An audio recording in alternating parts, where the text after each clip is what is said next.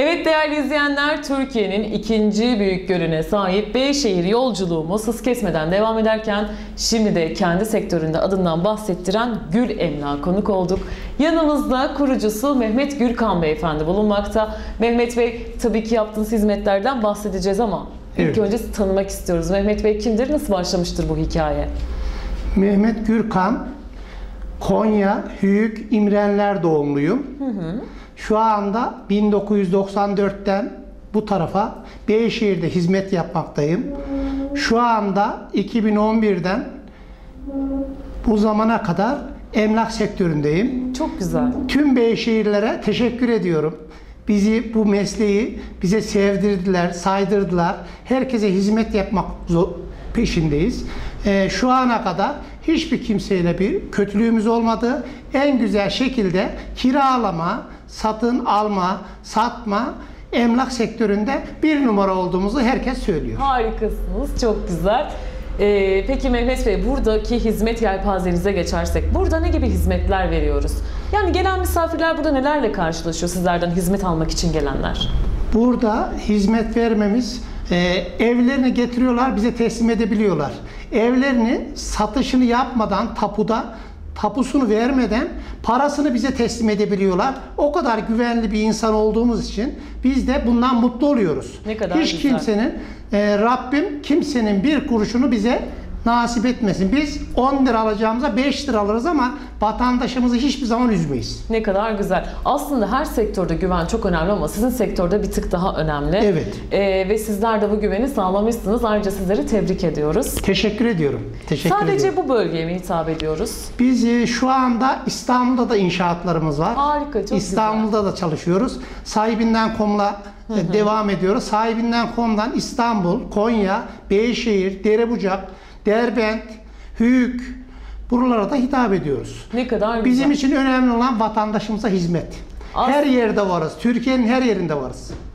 Çok güzel. Ne kadar güzel. Sizler aslında ticareti biraz arka plana atmışsınız ama hizmetle e, daha çok insanlarla hizmet açısından devam ediyorsunuz. Bu da çok güzel bir şey. Evet. Peki Mehmet Bey, e, alım var, satım var burada, kiralama var. Evet. İnşaatla alakalı, inşaatı biraz mercek altına alırsak. İnşaat olarak nasıl bir hizmet veriyoruz burada? İnşaat olarak, e, müteahhitlik olarak şey yapıyoruz. E, inşaatları yapıyoruz. Kentsel Yap- dönüşüm Kentsel dönüşüme girmiyoruz biz. Şu anda Beyşehir'de kentsel dönüşüm olayı yok. Ama İstanbul gibi İstanbul. yerlerde var. İstanbul'da Şirinevler'de kentsel dönüşüm olayımız oldu. Çok İnşaatımızı yaptık. Şu anda e, vatandaşımızı oturttuk. Ne kadar güzel, Vatan- huzurlu bir şekilde, e, güvenli Bizim için şekilde. önemli olan paradan önce vatandaşımızın güler yüzü. Çok Güler yüz olduktan sonra mesele değil yani. Bizim için para ikinci plandır.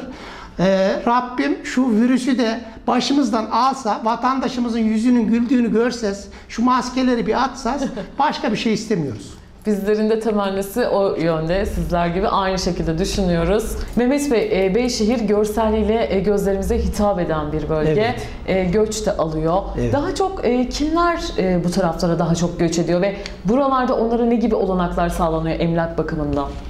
Şimdi göç olarak İstanbul'da, Ankara'da, İzmir'de bu depremlerden korkanlar, vatandaşlarımız e, bu taraflara göç etmek istiyorlar. Ama tabii iş sahamız biraz az olduğu için ama geliyorlar. Şu anda çilekçilik başladı bizim Beyşehir'de.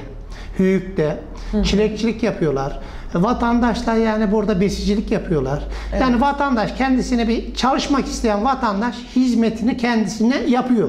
Parasını da kazanıyor. Para kazanmak çok basit. Ee, işi bilen için para kazanılır. Burada çilekçilik yapıyor. Bir dönüm çilekten belirli bir para kazanıyor yani.